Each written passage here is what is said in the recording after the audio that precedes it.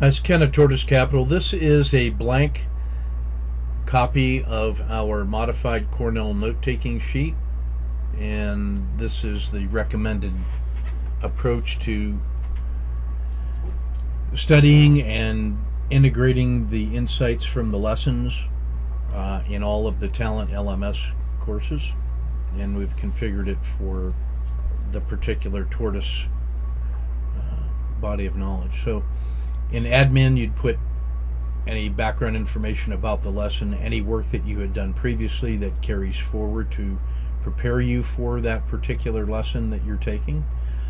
As you go through the lesson, you want a one page top level summary of all the important details. So all keywords would go into this column in this area.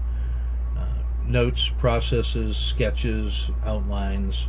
Um, if you had uh, references to other briefings or lessons or pointers towards something else, you could put it over here on the right hand side in this open space. Um, as long as you capture the entire lesson in one page.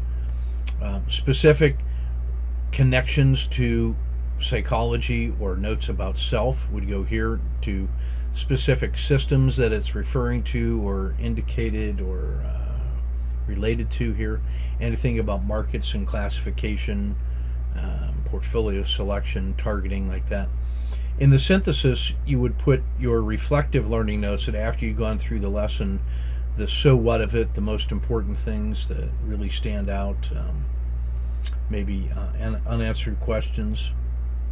Uh, and then in action would be notes to yourself of things that you now know you have to do to uh, put onto your master to do list. Um, and then what you have is a top level note sheet uh, that encompasses the entire lesson. So if I were to say that in words, I would uh, type it out. This is what I would say and all of that. Okay. So if you apply this to all of the lessons in a course, um, you'll end up having a pretty good syllabus or a course book.